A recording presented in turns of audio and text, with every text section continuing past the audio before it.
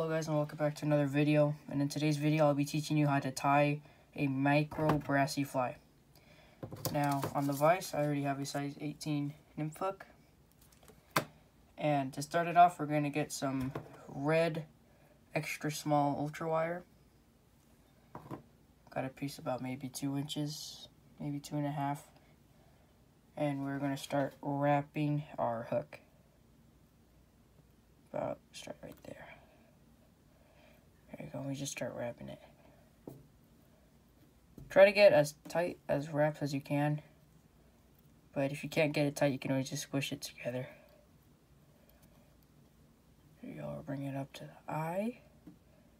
We'll just push it down. There you go, so we get a nice bright tight body. We'll bring it up to the eye, push it down. So we have about wire so it comes up to there. And we just wiggle it off or trim it off. There you go, trim it off. Alright, like so. Alright. And now for our thread, we're going to use black 210 denier thread. We're going to start push the lid back a little bit. There you go. Start right before the eye. There you go. And we'll trim off the thread. Like so. Alright. Now, you want to put a few wraps over the wire so the thread will hold it in place. Just maybe one or two wraps. Alright. There you go. Now to build up the head, we're going to get some black Antron dubbing. You just want to get a very, very, very small pinch, like that. Just a few fibers.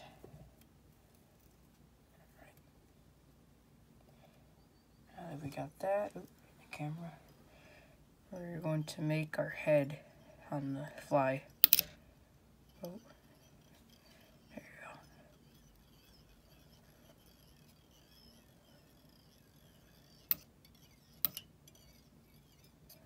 Alrighty, now that we got that, oh, got stuck on the vise there. Alright, we're going to give it a whip finish. Alrighty. There you go. Alrighty, trim the thread, and there you go. You got a, you got a micro brassie. And what I do is I get some head cement and I'll just put a drop of it over the wire. Just a drop. Then I'll get my finger. I'll just layer it like that. And give it a few hours and it'll harden nice. It'll harden up and it'll stay put. There you go, micro brassie fly.